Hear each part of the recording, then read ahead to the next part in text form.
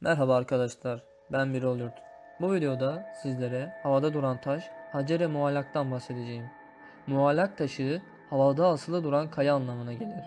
Rivayete göre Hz. Muhammed Mustafa sallallahu aleyhi ve sellem Efendimiz miraca yükselirken bu kayaya basar ve kaya peygamberimiz ile birlikte yükselmeye başlar.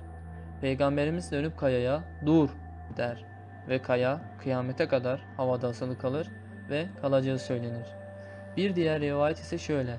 Hz. İbrahim aleyhisselam oğlu Hz. İsmail'i kurban etmek için bu kayaya yatırmıştır. Bu konuda birkaç tane daha rivayet vardır. Şu an görmüş olduğunuz bu fotoğraflar bir photoshop'tur. Bunlardan sonra göstereceklerim ise gerçektir. Gerçek Hacer-i Muallak gördüğünüz gibi Kubbetü Sahra'nın içinde bulunmaktadır. Hz. Peygamber sallallahu aleyhi ve sellem miraca çıktığı kabul edilen kaya ise işte burasıdır.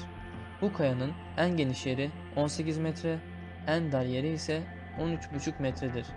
Bu kayanın içine ancak 11 basamak merdivenle inilebilmektedir. Kayanın iç kısmı yaklaşık 1,5 metre yüksekliğinde ve 4,5 metre boyutlarında boş bir mekandır.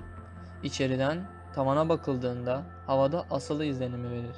Bundan dolayı Hacer-i Muallak olarak anılmaktadır. Beni izlediğiniz için teşekkür ederim.